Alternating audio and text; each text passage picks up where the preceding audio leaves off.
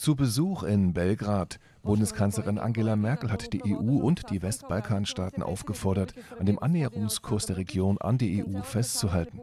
Sie hoffe, dass bald wieder Bewegung in den gesamten Prozess komme.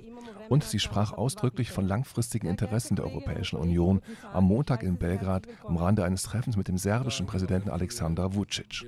Wir Europäer, ich kann das nur sagen, also wir, die wir schon Mitglied der Europäischen Union sind, sollten uns immer wieder vor Augen führen, dass es ein absolutes geostrategisches Interesse für uns gibt, diese Länder ähm, wirklich in die Europäische Union aufzunehmen. Es sei sicher ein langer Weg, bis die Westbalkanstaaten in die EU aufgenommen werden könnten.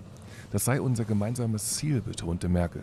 Vucic habe ihr zugesagt, dass es bis Ende dieses Jahres Fortschritte bei der Reform im serbischen Rechtswesen geben solle, damit ein neues Kapitel in den Beitrittsverhandlungen geöffnet werden könne.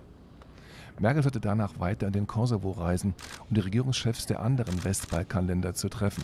Sie betonte, dass sich Deutschland auch nach dem Ende ihrer Amtszeit um die Region kümmern werde. Zugleich mahnte Merkel die sechs Westbalkanstaaten, möglichst einheitlich den Weg in die Europäische Union zu beschreiten.